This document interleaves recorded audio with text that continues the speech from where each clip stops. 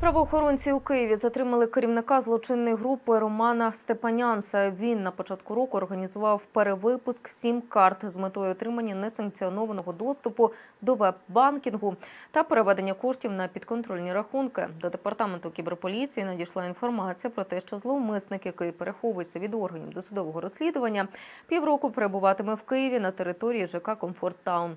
Кіберполіцейські з залученням спецпідрозділу ТОР затримали Степанянца. Надалі фігуранту повідомлять про підозру як організатору злочинної групи.